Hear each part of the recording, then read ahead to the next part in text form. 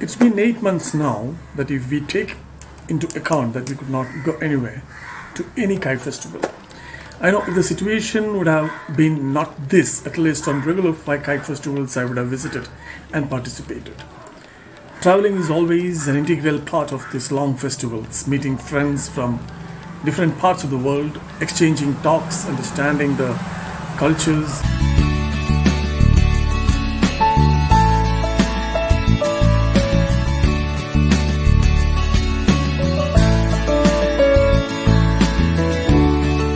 Tasting different food and above all flying kites in a field of unity and bonding that lasts forever.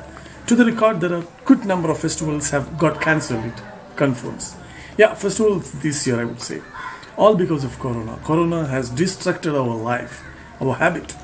It has dislocated the regional interest. But soon, this situation found a new respite through online programs and projects through Miasam, but uh, it has paved a way to cre- create our bonding and emerged ritually prominent, tend to be active in from various corners of the world. Everyone found it active, handy, and recouped with this new opportunity.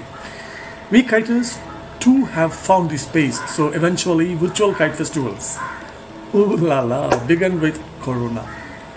Virtual kite festival has been good number of participants and every kiters from their countries started posting lockdown activities.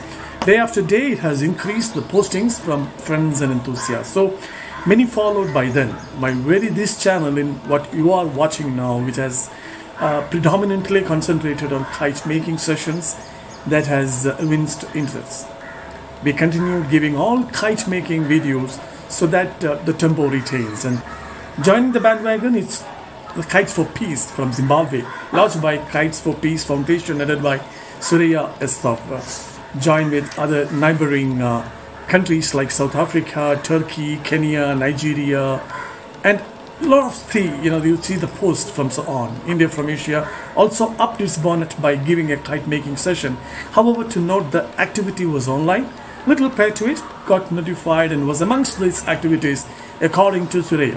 Flying kites in Kerala, that too fly our own King Mahabali, a post a most prominent uh, kite made a figure in while ruler of Kerala once ruled people were at peace, it was said. To share the warmth and love in the sky, we flown kites to support the Kites for Peace. And let me tell you, you we are so happy that our big flying king Mahabali was chosen the best from with few other you know best pigs from the countries and I would say it's a lockdown honor thanks to the and team to Kite for Peace. Hey, I'm wearing Kites for Peace. Look at this. And this is a gently the ambassadors of peace. The Kite Life Foundation is happy indeed, and Club One India Kite also had their share contributed to the activity by flying a kite that embossed 150th year of our father of nation, Sri Mahatma Gandhi. Gandhiji's birthday is falling on October 2nd, just over. All talks for peace, peace for love, peace for share, peace for corona. Let this pandemic subside and give way of hope for the most vulnerable and lovable people of the world unites and live in peace. Thanks for watching. See you soon with another video. Stay safe, stay healthy, and stay positive.